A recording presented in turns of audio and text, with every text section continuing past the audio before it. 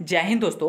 तो आज की इस वीडियो में हम जानेंगे जो असम राइफल्स ट्रेड्समैन की तरफ़ से जो आप सभी के लिए रिक्रूटमेंट इनवाइट की गई है, उसके बारे में। हाँ फ्रेंड्स आप सभी को हम बता दें कि आज की इस वीडियो में आप सभी को हम पूरे डिटेल्स में बताएँगे कि जो असम राइफल्स ट्रेड्समैन की तरफ़ से जो आप सभी के लिए रैली निकल कर आई हुई है, इसका सलेक्शन प्रोसेस क्या है, इसका जो है फ्रेंड्स स्टेट वाइज वैकेंसी इसमें कितनी है, प्रत्येक स्टेट में जो है मेल एंड फीमेल का कितना इसमें जो है पोस्ट है। तो फ्रेंड्स आज इस वीडियो में हम पूरे डिटेल्स में बताएँगे कि आप लोग यदि हवलदार कलर के लिए फॉर्म अप्लाई करना चाहते हैं तो आप सभी के लिए टाइपिंग सर्टिफिकेट ज़रूरी है या नहीं? और रेडमैन में जो भी यहाँ पे पोस्ट है, जो भी वैकेंसी है, उसमें क्या एक्सपीरियंस सर्टिफिकेट लगेगा या बिना एक्सपीरियंस सर्टिफिकेट का ही आप लोग इस फॉर्म को फिलअप कर सकते हैं? ठीक है? और इसका जो है selection process P T P H T examination medical कैसे होता है, पूरे डिटेल्स में हम आज जानेंगे। तो चलिए हम वीडियो को स्टार्ट करते हैं एंड आप सभी को हम फ्रेंड सबसे पहले यहाँ पे हम बता दें कि यदि आप लोग इस फॉर्म को फिलअप नहीं किए हैं तो जा करके जल्द से जल्द अप्लाई कर दीजिए।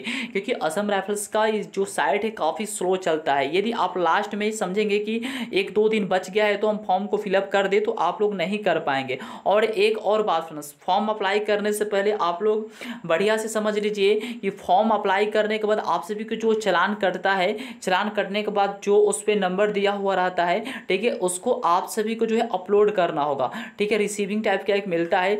अगले साल जो वैकेंसी आई थी, इससे अगले असम राइफल स्टेट्समैन का, उसमें काफ़ी कैंडिडेट को फॉर्म रिजेक्ट हुए थे। और इसका वजह वही था कि चलान कटने के बाद जो अपलोड करना था रेफरेंस नंबर वहाँ पर दिया हुआ रहता है एसबीआई यदि जिस भी नेट बैंकिंग से, जिसके द्वारा भी आप लोग चलान अपना जो है नेट बैंकिंग डेबिट कार्ड जो भी चीज़ें हैं, ठीक है, आप लोग जो है फ़ी पेमेंट करते हैं, उसको अपलोड करना होगा। जो कैंडिडेट यहाँ पे इसको अपलोड नहीं करेंगे, उनका जो है हंड्रेड परसेंट जो है, उनका जो है फ्रेंड्स रिजेक्ट हो जाएगा फॉर्म है ना? तो आप लोग ध्यान से अपना फॉर्म जो है अप्लाई करेंगे।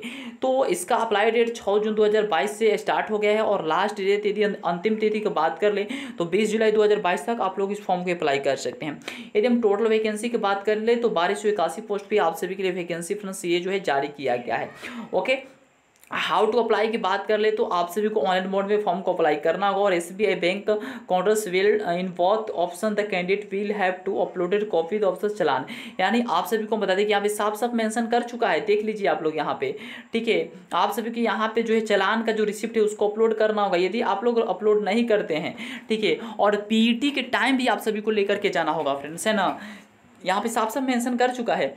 यदि आप लोग ये चीज़ गलती कर देते हैं, पीटी की टाइम नहीं ले जाते हैं या अपलोड नहीं करते हैं तो आपको फ्रेंड्स जो है इसका भुगतना पड़ेगा। ठीक है, इल्ज़ाम भुगतना पड़ेगा, आपका जो है कैंसिल कर दिया जाएगा। ठीक है ऑब्लिगेशन ओके और उसके बाद जब आप लोग इसको जो है फॉर्म अप्लाई कर देंगे तो आप सभी को फ्रेंड्स यहाँ पे अप्लीकेशन फ़ी भी दे रखा है है ना? यहाँ पे दो सौ रुपये ग्रुप बी के लिए है और ग्रुप सी के लिए यहाँ पे सौ रुपये का चलान लगने वाला है। ठीक है? उसके बाद आगे देख लेते हैं फ़िज़िकल एफिशिएंसी टेस्ट वगैरह के बारे में। यहाँ पे समझा रखा है, आप लोग यहाँ पे देख सकते हैं, ठीक है? उसके बाद यहाँ पे क्राइटेरिया कुछ दे रखा है क्वान्टिटिव क्राइटेरिया उसके बाद cut off date age limit के बारे में समझा रखा है। आप सभी को अठारह से तेईस साल एज लिमिट होनी चाहिए। और जो भी एस सी कैंडिडेट है, उन सभी को फाइव ईयर्स का इसमें एज देखने को मिल जाता है, और ओबीसी का तीन साल का। तो आप सभी यहाँ पे देख सकते हैं ओके उसके बाद यहाँ पे आएँगे फ्रेंड्स यहाँ पे आप सभी को देखने को मिल जाएगा। एज रिलेक्सेशन के बारे में दे रखा है ओके उसके बाद यहाँ पे फ़िज़िकल पीईटी एंड पीएचडी के बारे में समझा रखा है। आप सभी यहाँ पे देख सकते हैं कि जो भी कैंडिडेट ऑल कैंडिडेट है, उनका एक सत्तर हाइट होनी चाहिए नॉर्मल अस्सी चेस्ट और फुलाकर के पचासी होनी चाहिए। बाकी जो भी ये गोरखा, कोमायू, डोगरा, मराठा जो भी कैंडिडेट है, उन सभी को एक पैंसठ यहाँ पे हाइट मांगा गया है। नॉर्मल चेस्ट यहाँ पे अठहत्तर होनी चाहिए और फुल आकर के तिरासी सेंटीमीटर होनी चाहिए।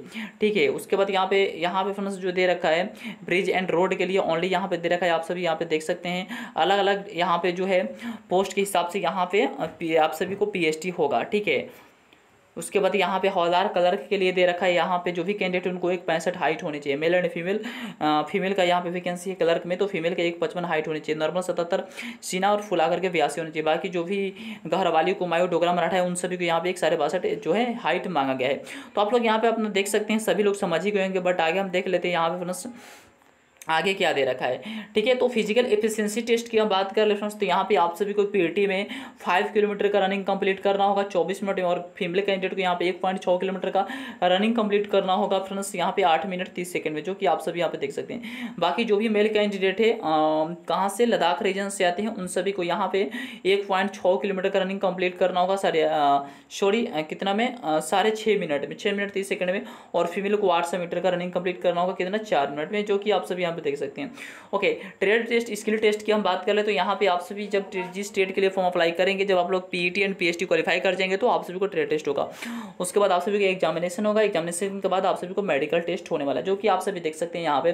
Trade skill test for technical and tradesman personnel will be conducted after the completion P and P in congratulations uh, congratulations no marks will be awarded the trade skill test the candidates declared pass in the trade skill test um, will only be allowed the appear in the written test यानी आप सभी को बता दें कि जो candidate यहाँ पे P ET and P H qualify कर जाएँगे उनको ट्रेड टेस्ट से गुजरना होगा जब आप लोग ट्रेड टेस्ट क्वालिफाई कर जाएँगे तो आप सभी को यहाँ पे रिटर्न टेस्ट के लिए एलिजिबल आप लोग हो जाएँगे ओके जो कि आप सभी यहाँ पे देख सकते हैं सौ मार्क्स का आप सभी को यहाँ पे रिटिन होने वाला है और आप सभी को ई डब्ल्यू एस जनरल जो भी कैंडिडेट है यहाँ पे पैंतीस परसेंट मार्क्स जो रखा गया है पास और A C S T O B C का तैंतीस परसेंट यहाँ पे रखा गया है, जो कि आप सभी यहाँ पे देख सकते हैं। जब आप लोग रिटिन क्वालिफाई कर जाएँगे तो आप सभी को मेडिकल एग्जामिनेशन होगा। जो आप लोग यहाँ पे क्वालिफाई कर जाएँगे मेडिकल फिट हो जाएँगे तो आप सभी को फ़ैन फाइनल मेरिट लिस्ट लगती है, उसके बाद आप सभी को फाइनल सिलेक्शन हो जाता है।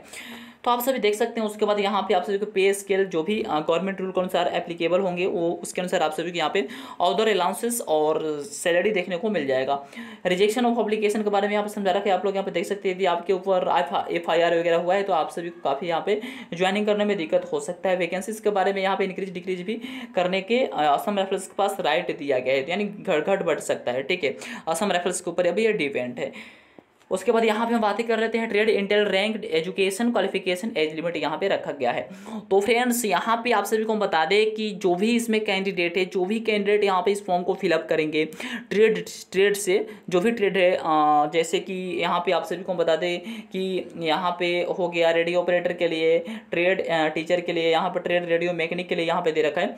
उन सभी को यहाँ पे क्या सर्टिफिकेट लगेगा या नहीं लगेगा तो आप लोग यहाँ पे ध्यान से समझेंगे ओके तो यहाँ पे यदि आप ट्रेड ब्रिज एंड रोड के लिए फॉर्म अप्लाई करना चाहते हैं तो यहाँ पे मेल मेल एंड फीमेल दोनों इस फॉर्म को फिलअप कर सकते हैं। बट यहाँ पे दे रखा है इंटेल रैंक आप सभी को नायब सुबदार का होगा जब आप लोग इसमें ज्वाइनिंग करेंगे। तो एजुकेशन यहाँ पे क्वालिफिकेशन आप सभी को मैट्रिक मांगा गया है। इसके साथ में आप सभी को diploma in civil engineering form यदि recognise institution of bridge and road में आप सभी को होनी चाहिए। एज लिमिट अठारह से तेईस रखा गया है। यदि ट्रेड क्लर्क के लिए आप लोग फॉर्म अप्लाई करना चाहते हैं तो मेल एंड फीमेल इस फॉर्म को दोनों अप्लाई कर सकते हैं। अब यहाँ पे आप सभी को रैंक हवलदार के मिलेगा। ठीक है? क्वालिफिकेशन आप सभी को इंटरमीडिएट और senior secondary school certificate ten plus two pass out होने चाहिए और आप सभी को यहाँ पे टाइपिंग होनी, आनी चाहिए। स्किल टेस्ट में इंग्लिश में पैंतीस वर्ड पर मिनट और हिंदी में तीस वर्ड पर मिनट आप सभी को होनी चाहिए। ठीक है? और इसके साथ में आप लोग जब अप्लाई करेंगे तो आप सभी को यहाँ पे जो है सर्टिफिकेट भी लगने वाला है। ओके अठारह से पच्चीस साल यहाँ पे एज लिमिट रखा गया है क्लर्क के लिए। यदि आप लोग रिलीजियस टीचर के लिए आप लोग फॉर्म अप्लाई करना चाहते हैं तो आप सभी के यहाँ पे फ्रेंड्स नायब सूबदार के पोस्ट पे आप सभी को सिलेक्शन होगा और एजुकेशन यहाँ पे ग्रेजुएशन युद्ध माध्यम इन संस्कृत में मांगा गया है। आप सभी को एज लिमिट अठारह से तीस रखा गया है। Trade operator radio and lineman के लिए यहाँ पे दसवीं पास मांगा गया है और इसके साथ में आप सभी को बारहवीं पास भी होनी चाहिए। यहाँ पे दे रखा है। ठीक है, आप सभी देख सकते हैं। ओके यहाँ पे इसके साथ में आप सभी को आई वगैरह भी इसमें मांगा गया है। आप लोग देख सकते हैं। इलेक्ट्रॉनिक्स में इलेक्ट्रॉनिक्स में जो भी चीज़ें यहाँ पे दे रखा है, आप लोग देख सक, देख सकते हैं फ्रेंड्स, यहाँ पे दे रखा है। रेडियो एंड टेलीविज़न में electronics form and recognise institute of बारहवीं पास और इकोनॉमिक विथ फिजिक्स केमिस्ट्री के साथ में आप सभी को बारहवीं पास होने चाहिए। और ट्रेड रेडियो मैकेनिक के लिए आप सभी को यहाँ पे दसवीं पास मांगा गया है और यहाँ पे यदि दसवीं पास से बारहवीं भी है तो आपको यहाँ पे चल जाएगा और स्टेट में आप सभी को आईटीआई होनी चाहिए मैकेनिक में ठीक है तो यहाँ पे टोटल यहाँ पे चीज़ें दे रखा है आप लोग देख सकते हैं नर्सिंग असिस्टेंट के लिए भी यहाँ पे जो है फ्रेंड्स दसवीं पास मांग गए इसके साथ में आप सभी को science and biology from board age limit यहाँ पे रखा गया है ठीक है तो आप लोग यहाँ पे देख सकते हैं जिस भी टेट के लिए आप लोग फॉर्म अप्लाई करना चाहते हैं आप अपना यहाँ पे चेकआउट कर सकते हैं ओके अब हम यहाँ पे बातें कर लेते हैं फ्रेंड्स की यहाँ पे जो है हाँ यहाँ पे स्टेट वाइज वैकेंसी कितनी है? यहाँ पर ट्रेड्स ट्रेड्समैन के लिए वाशरमैन के लिए और यहाँ पे आई के लिए दे रखा है, आप सभी देख सकते हैं। यदि आप लोग ट्रेड्स वाशरमैन के लिए फॉर्म अप्लाई करना चाहते हैं तो आप सभी के आप दसवीं पास आउट मिनिमम ज़रूरी है। यदि आपके पास एक्सपीरियंस सर्टिफिकेट है तो और बेटर नहीं भी है तो कोई यहाँ पर बात नहीं है। यहाँ पे बातें कर लेते हैं स्टेट वाइज कितनी वैकेंसी है टोटल वैकेंसी यहाँ पे बातें कर ले, एक वैकेंसी अंडमान निकोबार के लिए आंध्र प्रदेश के लिए टोटल बहत्तर वैकेंसी है, अरुणाचल प्रदेश के लिए यहाँ पे दे रखा है friends total vacancy Arunachal Pradesh में बयालीस है। असम में टोटल वैकेंसी कितना है? संतावन है। बिहार में टोटल वैकेंसी यहाँ पे एक सौ सात है। चंडीगढ़ में दो है। छत्तीसगढ़ में बत्तीस है। दादर एंड हवेली में यहाँ पे एक वैकेंसी है। दिल्ली में बारह है। दमन दीव में फ्रेंड्स टोटल एक वैकेंसी है और गोवा में तीन वैकेंसी गुजरात में पचास वैकेंसी और हरियाणा में चौदह वैकेंसी हिमाचल प्रदेश में चार, जम्मू एंड कश्मीर में छब्बीस, झारखंड में तिरपन, कर्नाटका में इक्यावन, केरला में उनतालीस, लक्षद्वीप में एक, मध्य प्रदेश में सैंतालीस टोटल वैकेंसी है। और यहाँ पे हम देख लेते हैं, महाराष्ट्र में टोटल वैकेंसी इकहत्तर है, मणिपुर में उनासी में मेघालय में सात, मिजोरम में पचासी, नागालैंड में एक सौ पंद्रह उड़ीसा में इक्यावन पुदुचेरी में दो पंजाब में अठारह, राजस्थान में इकतालीस टोटल वैकेंसी है। तमिलनाडु में संतावन तेलंगाना में छब्बीस, छियालीस सॉरी त्रिपुरा में सात, उत्तर प्रदेश में एक सौ तेईस, उत्तराखंड में सात, वेस्ट बंगाल में छप्पन टोटल वैकेंसी यहाँ पे है। आप सभी यहाँ पे देख सकते हैं। तो फ्रेंड्स यहाँ पे यदि आप सभी को कोई भी डाउट होता है इस भर्ती को लेकर के तो आप लोग कमेंट सेक्शन में हमसे पूछ सकते हैं। हम उसका रिप्लाई ज़रूर देंगे। तो फ्रेंड्स आज के लिए बस इतना ही। जय हिंद।